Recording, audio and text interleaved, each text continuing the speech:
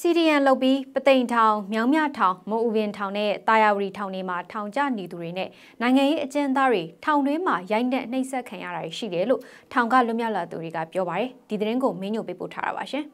ဟုတ်ပါမယ်စစ်ကောင်စီရဲ့ထောင်တွေမှာ CDN တွေနိုင်ငံရေးအကျဉ်းသားတွေကိုတမင်ရည်ရွယ်ချက်ရှိရှိနဲ့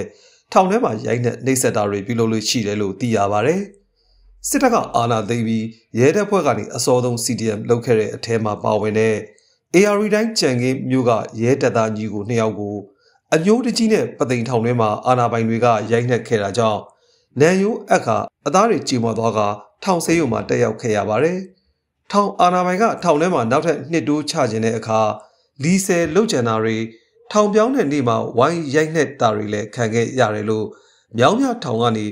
အခုနှစ် ဒီဇင်ဘာလမှာပြန်လည်လွတ်မြောက်လာသူရဲ CDM ကိုသူရင်လင်းကပြောပါတယ်6ရက်12လ2020နှစ်ညမှာရှာဝေးဝင်အထူးရှာဝေးဆိုပြီးတော့ညွှန်ကြားရေးမှူးရုံးကနေဝင်ရှာတယ်ကို။ထဲကနိုင်ငံရေးချင်းသားတွေရောအခြားချင်းသားတွေရောအပြင်ထုတ်တယ်။ပြီးတော့ကျွန်တော်ခန်းထဲကဖုန်းတွေးလို့ပါဆိုပြီးတော့អော်တယ်ကို။ဗရီမဗရီတော့မပါဘူး။အဲ့ဒီမှာကျွန်တော်ကိုချက်ချင်းတောက်ခတ်တယ်တောက်ခတ်ပြီးတော့ဆွတ်ခေါ်သွားတယ်။ရိုက်တာကိုညွှန်ထောင်ပိုင်ရုံးထဲမှာညွှန်ကြားရေးမှူးဇော်စင်အောင်ရဲ့နောက်ဆက်ရွှေမင်းသားရဲ့တဝင်းတယောက်ရဲ့တက်ချက်ဇော်ကြီးခေါ်ဇော်မင်းထုံး အရှင်းနာရီကနေပြီးတော့ထိုးတယ်ရိုက်တယ်မနေ့3နာရီ45မှတိုက်ခဲတန်းပို့တယ်ကြိမ်လုံးကို3မီကို3မီလိမ့်မိရိုက်တယ်ခေါင်းကနေပြီးတော့ခြေတော့ခဏောင်းထီကိုချစရာနေရာမရိုက်တယ်ကျွန်တော်ခဏကိုတကုံအသားကြီးကြေသွားတယ်မင်းရဲချင်းရဲကြံနေငါလုံးမရဲဆိုပြီးတော့စဆဲမင်းလားရဲစီရနဲ့ဘာရဲစီရနဲ့ရဲစုပ်ရဲပြက်အောင်ဘာလဲရဲရဲစီစီးပြက်ဆိုစီးပြက်ပေါ့မင်းလားထောင်ဆူထားတဲ့ကောင်လေကျွန်တော်ရင်ဘက်ကိုချိတ်80ကျော်ထိုးတယ်ထိုးတယ်အဲ့ဒါကညွှန်ကြားမှုဇော်စစ်အောင်ကိုယ်တိုင်ထိုးတာကျွန်တော်ကိုထောက်ထောက်ပြီးတော့တွန်းလဲပြီးတော့ထက်ရိုက်တယ်သတိကောင်းကောင်းတော့မရတော့ဘူးကျွန်တော်နားရဲကနေပြီးတော့ သွေးတွေစီးကြလာတယ်ကျွန်တော်ရင်ဘတ်ယူကယူကဧည့်သွားတယ်ရင်ဘတ်ယူဧည့်တယ်ကတော့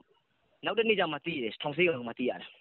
အဲ့ဒီမှာကျွန်တော်ညင်းနေအမှမင်းဒီဖုန်းနဲ့မင်းဝင်ဆန်းနေရောက်လက်မှတ်ထိုးပေးတယ်ကျွန်တော်လက်မှတ်မထိုးနိုင်ဘူးပြောတော့ထိုးပေးလို့ရှိရင်တဲ့ချက်နှိမ့်စေအောင်ပါဆိုတော့နှိမ့်စေတယ်နောက်ဆုံးကျွန်တော်ဘလို့မှကျွန်တော်တတိကောင်းမရကျွန်တော်လက်ကိုကျွန်တော်လက်တောင်ကျွန်တော်မှမြောင်းနေလို့အချိန်မှာကျွန်တော်လက်ကိုစုပ်ပြီးတော့သူ့ဘာသူလက်မှတ်ထိုးသွားတယ်တရားရုံးမှာတရားစွဲတယ်အချင်းတော့အဲ40နှစ်နဲ့ကျွန်တော်ဘာကြောင့်ဒီလောက်ထိရိုက်လဲဆိုလို့ရှိရင်ကျွန်တော် နှစ်လပိုင်း၃ရက်နေမှာကျွန်တော်ရဲစည်းကမ်းနဲ့ကျွန်တော်ဆရာနာရှင်အလိုမရှိဆိုတော့ပိုစတာတင်တယ်နှုတ်ထက်စာတင်တော့ကျွန်တော်ကိုစီဒီအန်ကိစ္စနဲ့ကျွန်တော်ဖမ်းဆီးထောင်ချတာခံရတယ်ကျွန်တော်ခြေချင်းနဲ့ဒေါင်းတောက်ခတ်ပြီးတော့ရိုက်တာကိုထိုးလဲထိုးတယ်ဖက်နဲ့ချုပ်ပြီးတော့မျက်နှာကိုရိုက်တယ်။ထောင်ပြောင်းတဲ့နေ့ပဲမင်းတို့ကောင်တွေရိုက်တက်လို့ရတယ်ငါတို့လည်းစားရတဲ့ပဲကုန်နေတယ်ရိုက်တက်လို့ရတယ်တဲ့။ဟုတ်ကဲ့ကျွန်တော်ညီကိုလည်းကန်တာနန်ကျိုးသွားတယ်လို့သိရတယ်။တာရီထောင်ကိုတော့စစ်ကောင်စီကစံပြထောင်လို့သတ်မှတ်ထားပြီး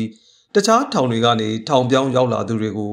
ထောင်အဝင်တကားကြီးကနေစတင်ရိုက်နှက်လေးရှိပါတယ်။ အဲဒီလိုရိုက်နှက်ရမှာ905အပါအဝင်နိုင်ငံရေးအမှုနဲ့ကြာသူတွေကိုတော့ပုံမှန်အကြီးအသေးအလိုက်စိတ်ကြိုက်ရိုက်နှက်ပြီးတော့မှအဆောင်တွေကိုပို့တယ်လို့ဒီနှစ်ဖေဖော်ဝါရီလကလွတ်လာသူတယောက်ကပြောပါတယ်။အဲဆိုင်ကနေထောင်ပြောင်းကထောင်ကစဝင်နေဝိုင်းရိုက်တာ။ခြေချင်းနှစ်ယောက်တွဲနေနဲ့သွားတာပေါ့နော်။နိုင်ငံရေးအကျဉ်းသားတိုင်းကိုမေးပြီးရိုက်တာ။ပါမှုလည်းမေးတာပေါ့နော်။မေးပြီးတော့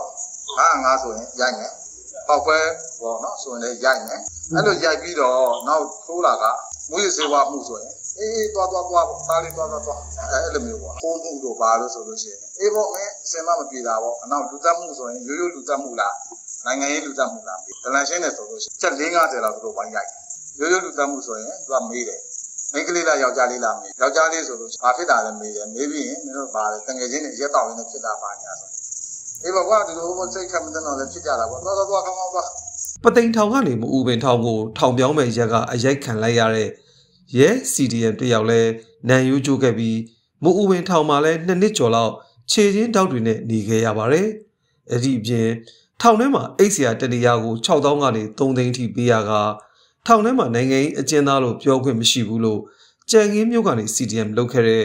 ရဲဒုတက်ချက်တယောက်ကပြောပါတယ်။ပသိမ်ထောင်ပြောင်းတဲ့နေ့ကထောင်ကကူးရတယ်မှာထောင်အနာပိုင်းအေးဝိုင်းပြီးတော့နှိမ့်ဆက်လို့ကျွန်တော်နိုင်ဦးကျိုးပါတယ် နားတစ်ဖက်ကောင်းမကြားပြတ်သွားတယ်။ဒီသွားရင်ကျုံနေသွားတော့အဲ့ဒီကနေပြီးကျွန်တော်ချင်းတောင်းနဲ့ခေါ်သွားပြီးတော့မိုးပင်ထောင်ရောက်တော့အဲကျွန်တော်တို့ထောင်ပုံစံမောင်းတယ်အဲ့ဒီမှာကျွန်တော်တို့ကအစမ်းကန်ဆန္ဒပြဖြစ်တယ်ဒီပုံစံထိုင်တဲ့ကိစ္စကို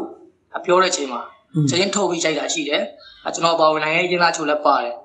ရိုက်နေပြီးတော့တိုက်ပြန်ပိတ်ထားတာကအဲကျွန်တော်ထောင်ကလွတ်တဲ့အထိပဲခြေချင်းထောက်တင်နဲ့ဒီတိုက်ပိတ်ခံထားရတာပေါ့နော်ကျွန်တော်နေခဲ့တဲ့နှစ်နှစ်ခွဲကျော် ဒီတောင်းတဲ့ဒီပါတစ်ချောင်းလုံးအခြေချင်းတောင်းတဲ့နေခဲ့ရများပါတယ်ဟုတ်ကဲ့စီရီယန်နေဆိုရင်တူတူခါခါမုန်းပြီးတော့ဆိုးဆိုးဝါးဝါနှိမ့်ဆက်တဲ့အထိလောက်တာမျိုးတွေရှိတယ်။ဟိုအိမ်သာနာမနေခြင်းတသိန်းနှစ်သိန်းစားတဲ့ဖြစ်ပါလေ6တောင်းကစပြီးအဲ့လိုမျိုး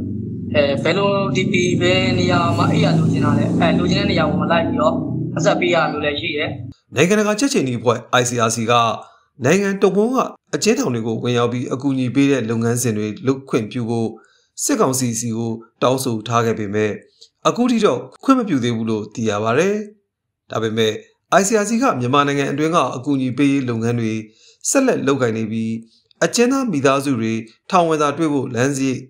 စတဲ့အကူအညီတွေကို ICRC ရုံးခွဲတွေမှာအကူအညီတောင်းခံနိုင်တယ်လို့ဆိုထားပါတယ်။နိုင်ငံရေးကျင်းသားများကူညီစောင့်ရှောက်ရေးအသင်း AAPP ရဲ့စီရင်အရ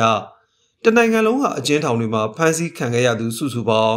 2600ကျော်ရှိပြီးအယောက်8820ကတော့ ထောင်ဒဏ်ချမှတ်ခံထားရတယ်လို့ဒီနေ့မတ်လ4ရက်နေ့မှာထုတ်ပြန်ထားပါတယ်ကျွန်တော်မင်းညိုပါခင်ဗျာ